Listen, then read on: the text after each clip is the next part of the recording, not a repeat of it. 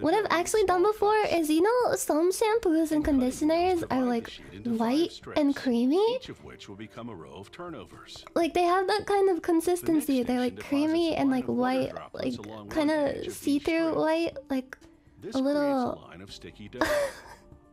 The preparations are all done, and assembly can begin. One time I, I bukake myself with shampoo. per turnover. Haven't you ever like done that out of curiosity or like to be funny? one edge of the dough and Or like one time I took a picture of like a bunch of shampoo. I squirted it into my hand and I was like, "Oh look, I'm Shinji from Evangelion." Seals the open side of the strips. The culinary choreography ends with I know that some of you have done it. Everyone has done this. descends, cutting the strips into individual Everyone. turnovers.